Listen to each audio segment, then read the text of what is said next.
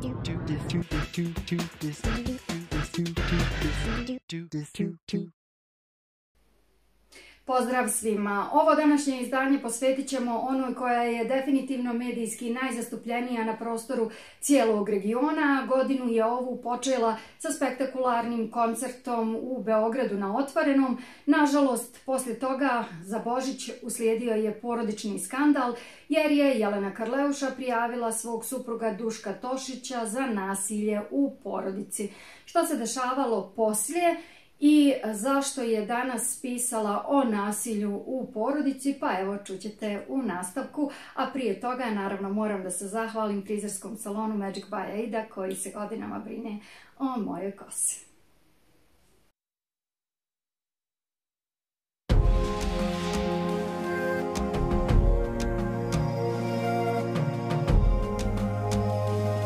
Kristijan Golubović često govori o Jeleni Karleuš i o njenom privatnom životu, emotivnim partnerima, izgledu i istupima u javnost. JK je odlučila da odgovori na njegovu najnoviju prozivku da vrijeđa Cecu, a da je zapravo ista kao ona. Karleuša je odreagovala na ovo na svom Instagramu nazvavši ga nasilnikom i zamjerila medijima što prenose njegove izjave jer su u tom slučaju, kako je napisala, i oni produžena ruka nasilnika.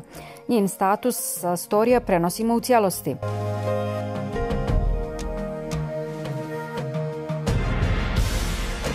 Dragi urednici medija, morate da se odlučite da li ste neko ko osuđuje nasilje nad ženama ili ste javna produžena ruka nasilnika.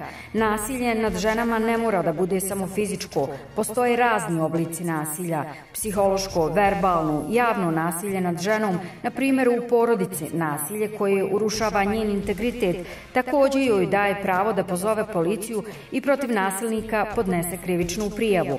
Zašto pomažete nasilnicima da njihove uvrede budu na naslovnim stranama i tako izložite žene javnom poniženju i velikom bolu? Zašto pravite atmosferu da je vređanje i ponižavanje žena u medijima ili bilo kako normalno i prolazi nekažnjeno? Ako je riječ o ženi koja se bavi javnim poslom, morate da shvatite da to ne opravdava i ne daje dozvolu da se ta žena ponižava, vređa, zlostavlja. Nasilje se ne deli po profesijama koja zaslužuje, a koja ne. Ne postoji profesija koja opravdava nasilje nad jednom ženom. Ni jedna žena nije zaslužila nasilje, mašta ko o njoj mislio ili dao sebi pravo da misli zato što je reč o javnoj ličnosti. Nasilje je nasilje, fizičko ili verbalno. Boli svaku ženu podjednako, samo što su žene sa javne scene iz Srbije osuđene da trpe i ćute. Srbija je zemlja gde se žene tuku, ponižavaju, vređaju, psihološki zlostavljaju i gde je tradicija da je žena vlasništvo muškarca koji mora da trpi batine, ucene, uvrede, poniženja. U srpskim porodicama žene se ubijaju. Oborili smo crni rekord.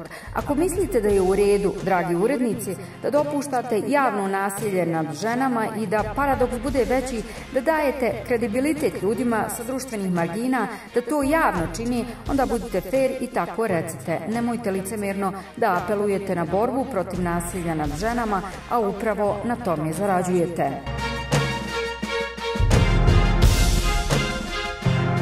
Hoće li se prozivke između kriminalca i pjevačice ovdje zaustaviti ili će ovo produbiti sukob, vidjet ćemo u narednim danima.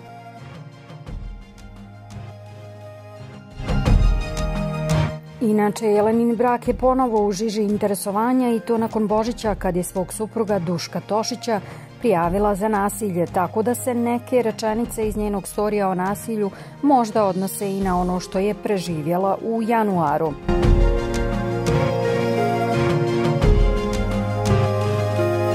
Iako nije govorila o ovoj temi, osim što je medije zamolila da joj porodicu ostave na miru, ona je prije dva dana objavila status koji je očito direktno obraćanje Tošiću. Ukoliko čovjek želi da je njegova žena anđeo, prvo joj od života mora napraviti raj, jer anđeli ne žive u paklu. Glasi poruka koju je Jelena objavila na svom Instagram profilu.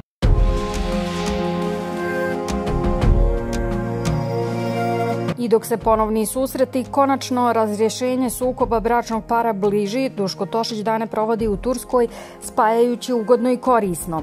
On je u Istanbul otišao zbog posla, gdje posvećeno radi na svojoj karijeri futbalskog menadžera, a kada radne obaveze prestanu, ovaj bivši futbaler se opušta. Ovog puta na zadnjem sjedištu limuzini Duško je uhvaćen sa srbijanskim reprezentativcem, čijem je potpisivanju ugovora posredovao. Podsjetimo, Jelena je kroz statuse o Ani Bekuti i Mrki, a onda i o Kseniji Vučić, prvoj supruzi Aleksandra Vučića, koja je nedavno preminula, spomenula šta joj je u životu najviše nedostajalo. Najprije nedavno napisala da je Bekuta u svom partneru imala ono što je Jeleni uvijek falilo. On je svuda išao sa njom, podržavao je u svemu, štitio i gledao sa ponosom. Bila sam zadivljena posmatrajući ih jer je u mom životu to uvijek falilo. Bio je ponosan na nju i ona na njega, napisala je J.K., a činjenica je da Duško nije išao svuda sa pjevačicom. Nije je štitio od nekad svakodnevnih napada, a čak su drugi muškarci znali da stanu na stranu pjevačice, ali on ne.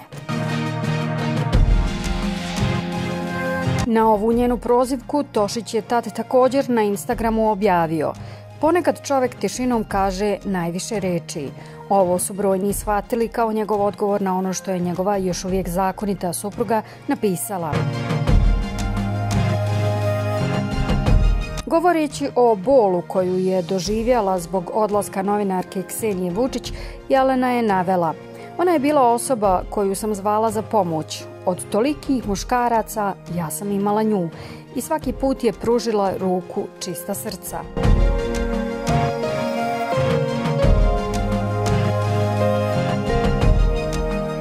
I sa ovom izjavom Jelena je očito aludirala da pored sebe nije imala pravog muškarca.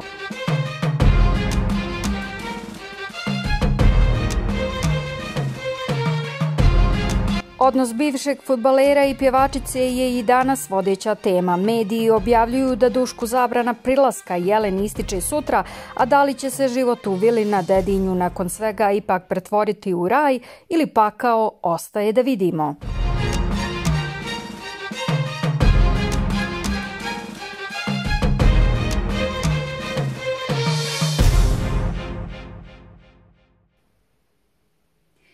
se uskoro sa nekim novim informacijama, sa nekim novim pričama, a ukoliko želite da nam preporučite i kažete koga biste voljeli da gledate u ovom formatu, možete da nam pišete ili na mail ili na Instagram profil, linkove ćemo ostaviti ispod u opisu ovog videa. Vidimo se za nekoliko dana.